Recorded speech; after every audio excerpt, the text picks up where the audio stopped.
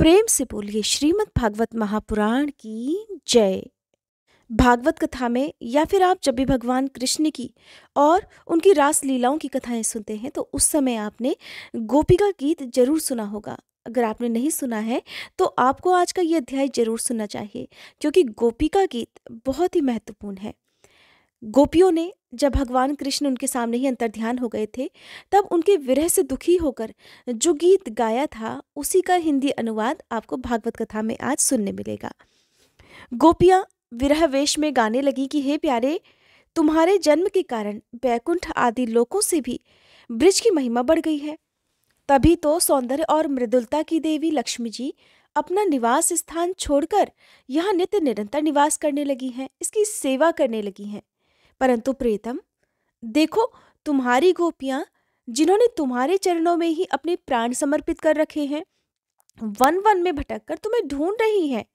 हमारे प्रेम पूर्ण हृदय के स्वामी, हम तुम्हारी बिना मोल की दासी हैं। तुम शरतकालीन जलाशय में सुंदर से सुंदर सर सिजकी कर्णिका के सौंदर्य को चुराने वाले नेत्रों से हमें घायल कर चुके हो। हमारे मनोरथ पूर्ण करने वाले प्राणेश्वर क्या नेत्रों से मारना वध नहीं है? क्या अस्त्रों से ही हत्या करना वध होता है? पुरुष शिरोमणि, यमुना जी के विषैले जल से होने वाली मृत्यु, अजगर के रूप में खाने वाले अघासुर, इंद्र की वर्षा, आंधी, बिजली, दावानल, वृषभासुर और व्योमासुर आदि से और भिन्न भिन्न अवसरों पर सभी प्रकार के भयों से तुमने बार बार हम लोगों की रक्षा की है। तुम केवल यशोदा नंदन ही नहीं हो, समस्त शरीर धारियों के हृदय में रहने वाले उनके साक्षी हो, अंतर्यामी हो। सखे, ब्रह्मा जी की प्रार्थना से विश्व की रक्षा करने के लिए तुम यदवंश में अवतरित हुए हो। अपने प्रेमियों की अभिलाषा पूर्ण करने वालों में अग्रगण्य हे यदुवंश शिरोमणे, जो लोग जन्म मृत्यु रूप संसार के चक्कर से डरकर तुम्हारे चरणों की शरण ग्रहण करते हैं, उन्हें तुम्हारे करकमल अपनी छत्र छाया में लेकर अभय कर देते हैं। हमारे प्रियतम सबकी लालसा अभिलाषाओं को पूर्ण करने वाला वही कर कमल जिससे तुमने लक्ष्मी जी का हाथ पकड़ा है, हमारे सिर पर रख दो। ब्रजवासियों के दुख दूर करने वाले वीर शिरोमणि है श्याम सुंदर। तुम्हारी मंद मंद मुस्कान की एक उज्जवल रेखा ही तुम्हारे प्रेमी जनों के सारे मान मद को चूर चूर कर देने के लिए पर्याप्त है। हमारे प्यारे सखा, हमसे रूठो मत, प्रेम करो। हम तो तुम्हारी दासी हैं, तुम्हारे चरणों पर निछावर हैं। हम अबलाओं को अपना वह परम सुंदर सांवला सांवला मुख कमल दिखलाओ। तुम्हारे चरण कमल शरणागत प्राणियों के सारे पापों को नष्ट कर देते हैं। वे समस्त सौंदर्य माधुरी की खान है और स्वयं लक्ष्मी जी उनकी सेवा करती रहती हैं। आप उन्हीं चरणों से हमारे बछड़ों के पीछे पीछे चलते हो। और हमारे लिए उन्हें सांप के फनों पर रखने में भी आपको संकोच नहीं होता? हमारा हृदय आपकी विरह व्यथा की आग से जल रहा है। आपके मिलन की इच्छा हमें सता रही है। आप अपने वे ही चरण हमारे वक्ष स्थल पर रखकर हमारे हृदय की ज्वाला को शांत कर दो। हे कमल नयन, आपकी वाणी कितनी मधुर है। उसका एक एक पद एक एक शब्द एक एक अक्षर मधुरातिम मधुर है। बड़े बड़े विद्वान उसमें रम जाते हैं। उस पर अपना सब कुछ निछावर कर देते हैं। तुम्हारी उसी वाणी का रसा स्वादन करके तुम्हारी आज्ञाकारिणी दासियाँ गोपियाँ मोहित हो रही हैं। हे दानवीर, अब तुम अपना दिव्य अमृत से भी मधुर अधर रस पिलाकर हमें जीवन दान दे दो, हमें छका दो। प्रभु तुम्हारी लीला कथा भी अमृत स्वरूप है। बड़े बड़े ज्ञानी महात्माओं, भक्त कवियों ने उसका गान किया है। वह सारे पाप ताप तो मिटाती ही है। साथ ही श्रवण मात्र से परम मंगल, परम कल्याण का दान भी करती है। वह परम सुंदर, परम मधुर और बहुत विस्तृत भी है। जो तुम्हारी उस लीला कथा का गान करते हैं, वास्तव में भूलोक में वे ही सबसे बड़े दाता हैं। प्यारे एक दिन वो था जब तुम्हारी प्रेम भरी हँसी और चितवन और तुम्हारी तरह तरह की क्रीड़ाओं का ध्यान करके हम आनंद में मगन हो जाया करती थी। उनका ध्यान भी परम मंगलदायक है। उसके बाद तुम मिले। तुमने एकांत में हृदय स्पर्शी ठिठोलियाँ की, प्रेम भरी बातें की, हमारे कपटी मित्र। अब वे सब बातें याद आकर हमारे मन को दुखी कर रही हैं। हमारे प्यारे स्वामी तुम्हारे चरण कमल से भी सुकोमल और सुंदर हैं। जब तुम गौओं को चराने के लिए ब्रिज से निकलते हो, तब ये सोचकर कि तुम्हारे वे युगल चरण कंकड़, तिनके और कुछ कांटे गड़ जाने से कष्ट पाते होंगे, हमारा मन बेचैन हो जाता है। हमें बड़ा दुख होता है। दिन ढलने पर जब तुम वन से घर लौटते हो तो हम देखते हैं कि तुम्हारे मुख कमल पर नीली नीली अलके लटक रही हैं। और गौओं की खुर से उड़ उड़कर घनी धूल पड़ी हुई है। हमारे वीर प्रियतम, तुम अपना वह सौंदर्य हमें दिखा दिखाकर हमारे हृदय में मिलन की आकांक्षा प्रेम उत्पन्न करती हो। प्रियतम, एकमात्र तुम ही हमारे सारे दुखों को मिटाने वाले हो। तुम्हारे चरण कमल शरणागत भक्तों की समस्त अभिलाषाओं को पूर्ण करने वाले हैं। स्वयं लक्ष्मी जी उनकी सेवा करती हैं। और पृथ्वी के तो वे भूषण ही हैं। आपत्ति के समय एकमात्र उन्हीं का चिंतन करना उचित है, जिससे सारी आपत्तियाँ कट जाती हैं। हे कुंज विहारी, तुम अपने वे परम कल्याण स्वरूप चरण कमल हमारे वक्ष स्थल पर रखकर हृदय की व्यथा शांत कर दो। वीर शिरोमणि, तुम्हारा अधरामृत मिलन के सुख को आकांक्षा को बढ़ाने वाला है। वह विरहजन्य समस्त शोक संताप को नष्ट कर देता है। ये गाने वाली बांसुरी भली भांति उसे चूमती ही रहती है। जिन्होंने एक बार उसे पी लिया, उन लोगों को फिर दूसरों और दूसरों की आसक्तियों का स्मरण भी नहीं रहता। हमारे वीर, अपना वही अधरामृत, हमें वितरण करो, पिलाओ। प्यारे, दिन के समय जब तुम वन में विहार करने के लिए चले जाते हो, तब तुम्हें देखे बिना हमारे लिए एक एक पल युग के समान हो जाता है। और जब तुम संध्या के समय लौटते हो तथा घुंघराली अलकों से युक्त तुम्हारा परम सुंदर मुख हम देखा करती हैं, उस समय पलकों का गिरना हमारे लिए भार हो जाता है। और ऐसा जान पड़ता है कि इन नेत्रों की पलकों को बनाने वाला विधाता मूर्ख है। प्यारे श्याम सुंदर, हम अपने पति, पुत्र, भाई, बंधु और कुल परिवार का त्याग कर उनकी इच्छा और आज्ञाओं का उल्लंघन करके तुम्हारे पास आई हैं। हम तुम्हारी एक एक चाल जानती हैं, संकेत समझती हैं और तुम्हारे मधुर गान की गति समझकर उसी से मोहित होकर यहाँ आई हैं। कपटी, इस प्रकार रात के समय आई हुई युवतियों को तुम्हारे सिवा और कौन छोड़ सकता है? प्यारे, एकांत में तुम मिलन की आकांक्षा, प्रेम भाव को जगाने वाली बातें किया करते थे, ठिठोली करके हमें छेड़ते थे, तुम प्रेम भरवी चितवन से हमारी ओर देखकर मुस्कुरा देते थे।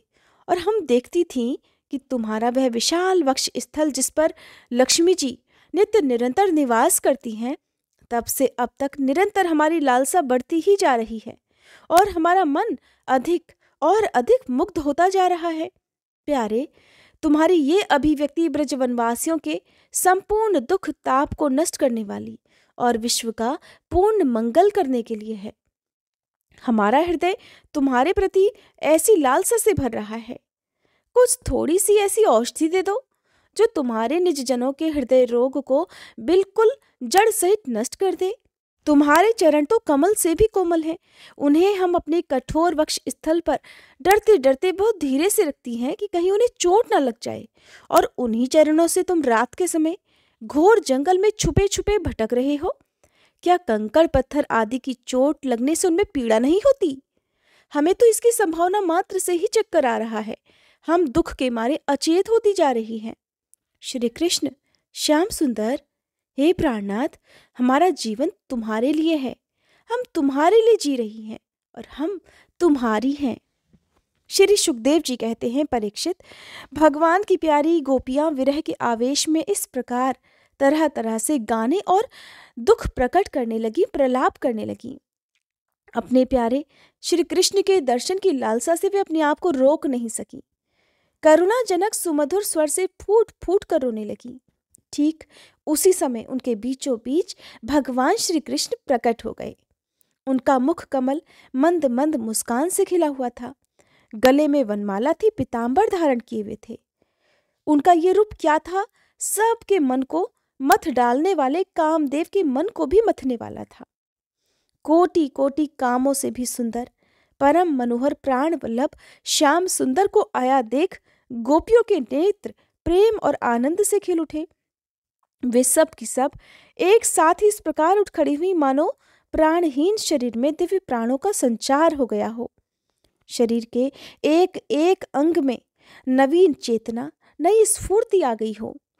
एक गोपी ने बड़े प्रेम और आनंद से श्री कृष्ण के कर कमल को अपने दोनों हाथों में ले लिया और फिर वह प्रेम से धीरे धीरे उन हाथों को सहलाने लगी। दूसरी गोपी ने उनके चंदन चर्चित भुजदंड को अपने कंधे पर रख लिया।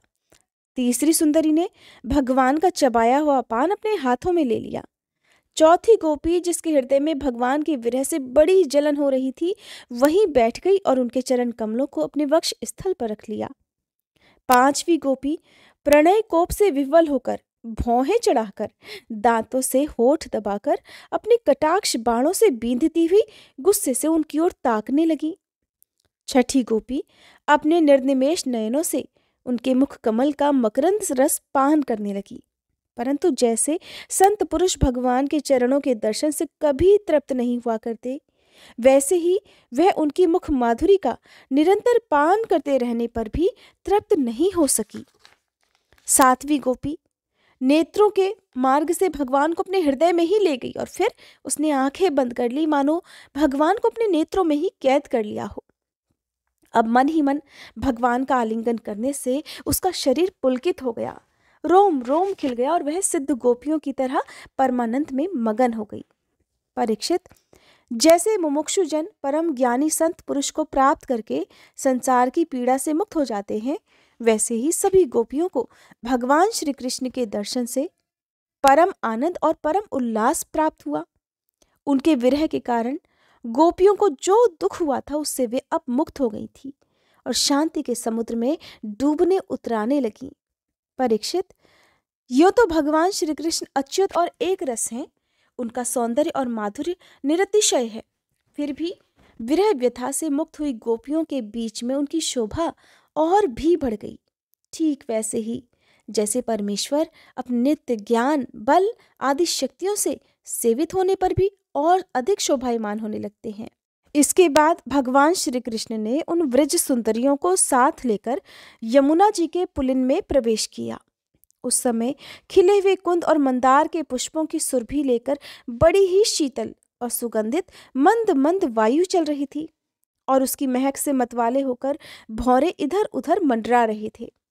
शरद पूर्णिमा के चंद्रमा की चांदनी अपनी निराली ही छटा दिखला रही थी।